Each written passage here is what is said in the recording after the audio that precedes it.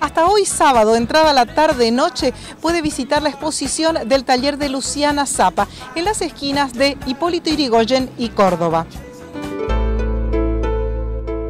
Hasta este sábado solamente. ¿Y están en?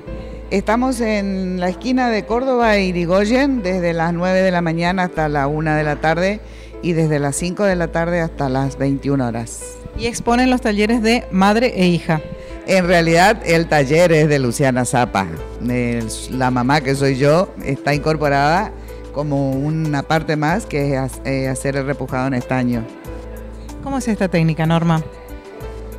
Y es una técnica que en realidad no es de difícil. Hay que trabajar con láminas de estaño, con herramientas especiales, con diseños especiales y hay que ir dándole volumen, si uno quiere, si no se trabaja también en, plano, hasta que logra la pieza que, está buscando.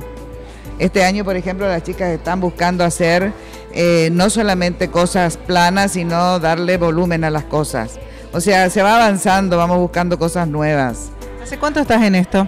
Mm, este, el año que viene van a ser 10 años. 10 años y has creado, además de alumnas, grupos de amigas. Así es, siempre hay en el taller mucha camaradería eh, y pasamos lindos momentos.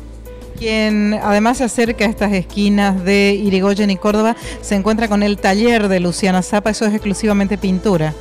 Bueno, Luciana hace la parte de pintura, sí, hay otra profesora que se dedica a hacer la parte de pintura de porcelana y yo que hago estaño, o sea, todo dentro del taller. Y en esta muestra se puede ver un poco de cada una. Y en esta muestra se puede ver un poco de cada cosa, sí. Bueno, ¿por qué venir? ¿Por qué venir a visitarlas? Y creo que hay muy lindas cosas que se puede recrear la vista, que se puede ver una cosa diferente. No es fácil ver exposiciones así eh, de cosas lindas realmente. Recrea la vista, recrea el alma y es una linda labor terapia además. Así es.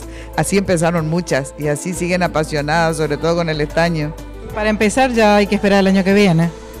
Eh, sí, en realidad la que tenga algún tipo de interés puede acercarse ahora para conversar ya, porque esta semana que viene terminamos las clases, pero ya podemos ver qué hacemos para el año que viene. Gracias, Norma.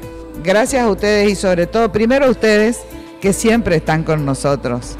Eh, gracias también a las alumnas por prestarse a poner sus cosas y sobre todo gracias a la familia Laurenzana que nos ha cedido este local muy importante para nosotros porque es una vidriera muy importante.